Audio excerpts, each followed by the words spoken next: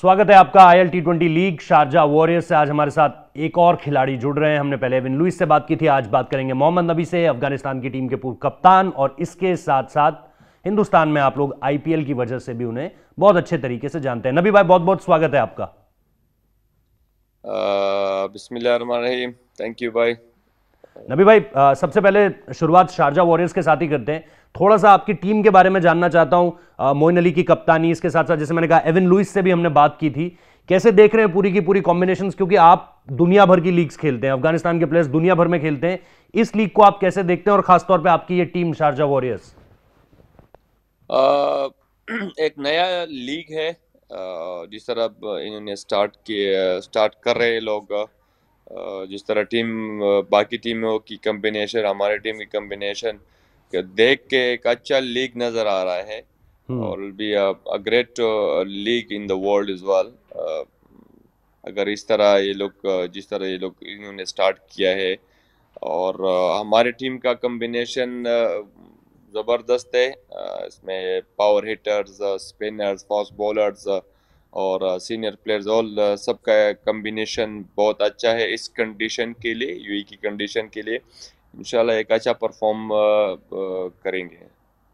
नबी भाई, एक बात जो मैं हमेशा आपसे जानना चाहता था, मैंने प्रेस कॉन्फ्रेंसेस में भी आईपीएल के पिछले साल प्रेस कॉन्फ्रेंसेस में भी जब आप हैदराबाद से खेलते थे तो आपसे बात की हुई है, सवाल किए हुए हैं आपसे। एक चीज़ जिससे मैं बड़ा मुतासर रहता हूँ, वो ये चीज़ कि आप एक ऑफ़ स्पिनर होकर भी टी क्रिकेट में जिस तरीके से गेंदबाजी करते हैं मतलब फिंगर्स की अगर हम बात करें डिफ़िकल्ट होता है आज की डे डे एज में जब हम देख रहे हैं कि रिस्ट स्पिनर्स बहुत ज़्यादा लेग स्पिनर्स आप देख रहे हो, कितना ज़्यादा इफ़ेक्टिव है टी ट्वेंटी क्रिकेट में। आपने अपने आप को किस तरीके से सस्टेन कर कर रखा है, उस तरीके से आप लगातार बढ़िया गेंदबाजी करते रहे हैं और बींग एंड फिंगर स्पिनर आपको उतनी ज़्यादा डिफिकल्टी होती नहीं है। थोड़ा सा आप इसके बारे में बता पाएँगे जो यंग लड़के आ रहे हैं दुनिया भर से, या फॉर दैट मैटर लड़कियाँ भी अगर देख रही हैं, क्योंकि अब तो हम लगातार देख रहे हैं कि लड़कियों का क्रिकेट आईपीएल की विमेंस बिग बैश लीग सारी की सारी चीज़ें तो किस तरीके आप क्या बताना चाहेंगे उन लड़के लड़कियों को?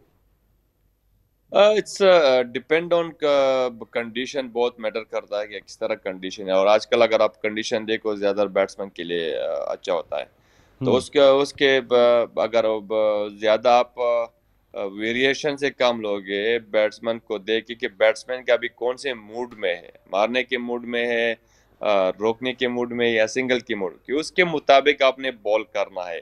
और बॉल की पिचिंग और वेरिएशन के साथ। एक बॉल नहीं करना सिक्स बॉल होते हैं, आपको डिफरेंट वेरिएशन के साथ बॉलिंग करना पड़ेगा आपको।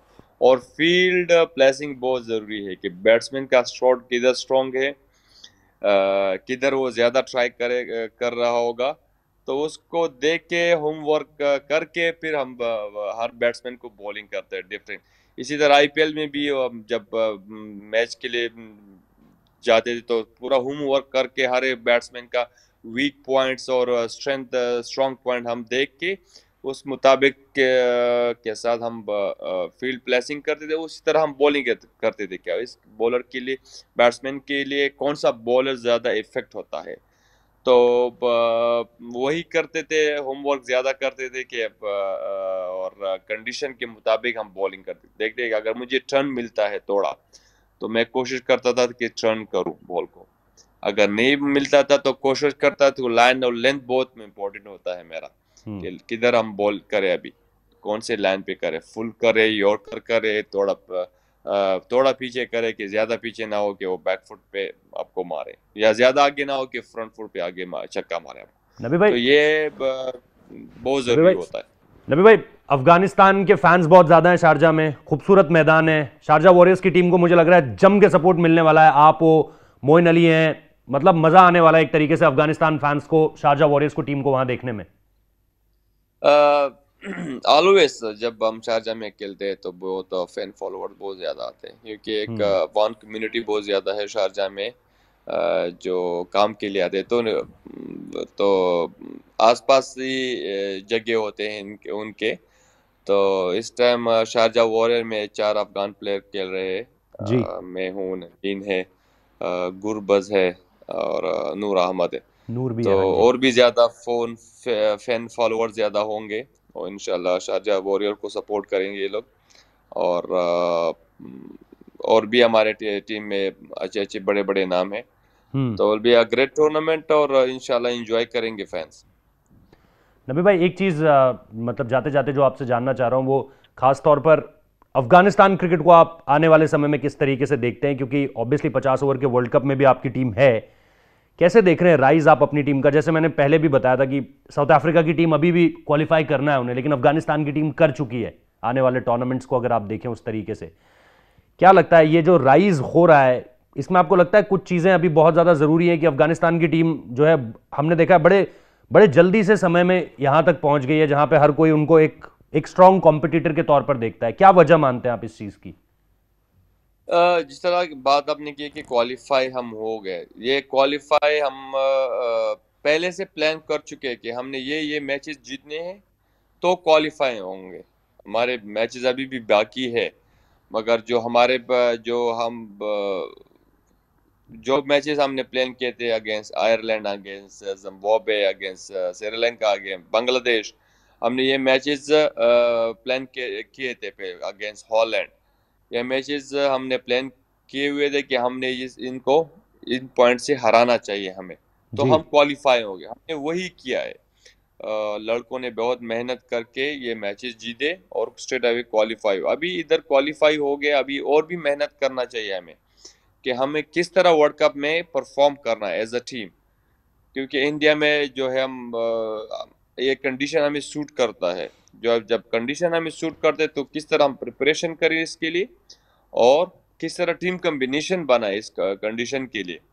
तो जाके उधर हम फिर परफॉर्म करेंगे। अगर हम ये नहीं सोचेंगे कि हमारा टीम कम्बिनेशन क्या है, हमारा उधर कंडीशन क्या है और हमने कौन से प्लेयर सेलेक्ट करना है और उस पर हमने किस तरह काम करना है, उस लेवल पे।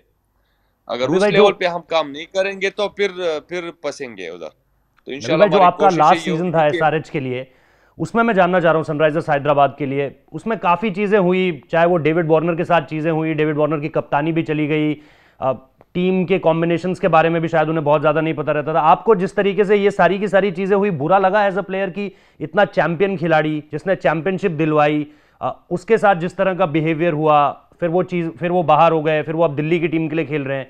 सनराइजर्स की टीम को 2016 में चैंपियन बनाया रन हर साल बनाता था। एक सीज़न खराब किया गया फ्रेंचाइजी ने मतलब बिल्कुल ही जो है कॉन्फिडेंस छोड़ दिया उस खिलाड़ी से। ये चीज़ें आपको बुरी लगती है फ्रेंचाइजी क्रिकेट पे या इसके बारे में आप कुछ और बताना चाहते हैं सनराइजर्स हैदराबाद में जिस तरीके से वो सीज़न गया पूरा का पूरा आप लोगों का?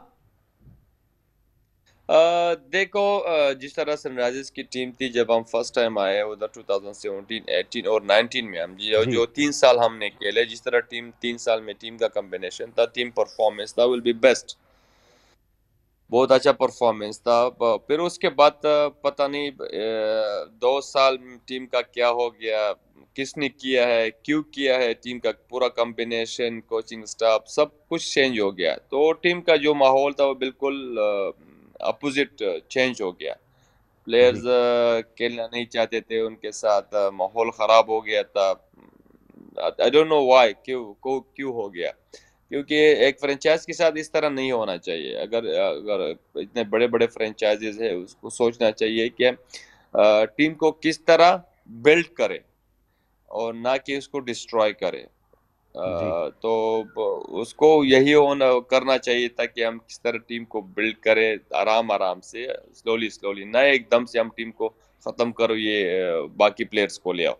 तो इससे टीम को बिल्ड करने में टाइम लगता है। उसको टीम का कम्बिनेशन बना के, अगर आप देखो राशिद के साथ तकरीबन पाँच छः साल एक ब्रांड था एस आर एच का। उन्होंने राशिद को छोड़ दिया। जब राशिद को छोड़ दिया तो इसमीन ये पता नहीं ये लोग क्या करना चाहते थे।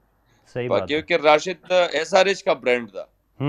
एसआरएच हम्म। ने एसआरएच ने उस पर इन्वेस्ट किया है तो आ, उसको नहीं छोड़ना चाहिए था राशिद को।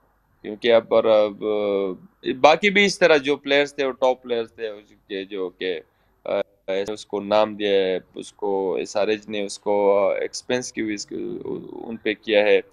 तो उनको सबको उनको हटा दिया पता नहीं आई डोंट नो व्हाई नहीं करना चाहिए था इसका। नबी भाई एक जाते जाते बस आपके साथ रैपिड रैपिड फायर क्वेश्चंस है। आपसे जवाब चाहता हूँ।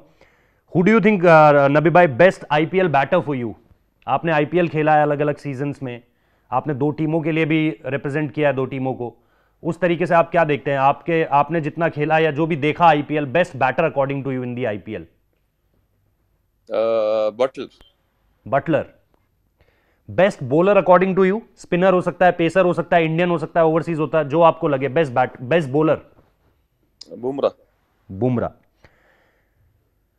One player you want की मतलब आपकी इस शारजा वॉरियर टीम का हिस्सा होता। अगर आप कहीं से भी पूरी दुनिया से लेकर आना चाहें इस वक्त पे एक खिलाड़ी जो भले ही वहाँ पे हो भी ना अभी लेकिन एक मतलब अगर फैंटेसी पिक के लिए आपको बोलूँ कि भाई एक खिलाड़ी जो शारजा वॉरियर में आना चाहिए पूरी दुनिया में से कोई एक अगर नबी भाई लाना चाहे। बटलर बटलर आप बटलर के बहुत बड़े फ़ैन लग रहे हैं मुझे। नबी भाई एक चीज़ जो हमेशा आपसे जानना चाह रहा था जिस तरीके से मतलब सनराइजर्स हैदराबाद में उस वक्त पे दो नाम हुआ करते थे Rashid Khan and Bhuvneshwar Kumar. Bhuvneshwar Kumar with the new ball Rashid Khan spin इन दोनों में से अगर किसी एक को चुनने के लिए कहूँ। कंडीशन ऑफ़ यूई के लिए? नहीं यूए नहीं India India India Rashid Khan. Rashid Khan. आपके अकॉर्डिंग आईपीएल का बेस्ट कैप्टन कौन रहा?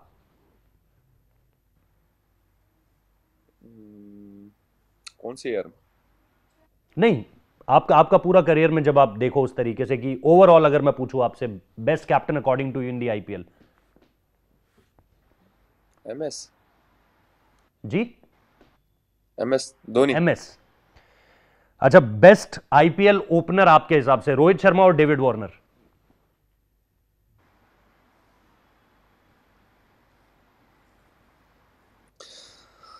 परफॉर्मेंस के लिहाज से देखो तो वार्नर परफॉर्मेंस के लिहाज से ही देखेंगे। और तो कोई पैरामीटर नहीं है। एक आखिरी सवाल आपसे ये कि आने वाले समय में आपको लगता हो कि कोई यंग इंडियन प्लेयर जो आपको लगता हो यार इस इस बंदे पे नज़र रखो ये बंदा तुम्हारे लिए अच्छा कर सकता है यादव। यादव? या कौन सा? कुलदीप Yes. सूर्या बहुत सारे यादव हो गए हैं। सूर्या। सूर्या सूर्या सूर्या। लेकिन सूर्य कुमार यादव को मतलब आप यंग प्लेयर की कैटेगरी में रखेंगे वो तीस इकतीस मतलब अगर कोई मैं यंग प्लेयर आपसे पूछूँ। शान किशन। ईशान किशन। बहुत बहुत शुक्रिया नबी भाई। आपको बहुत बहुत बेस्ट विशेष है हमारी तरफ़ से टीम के लिए।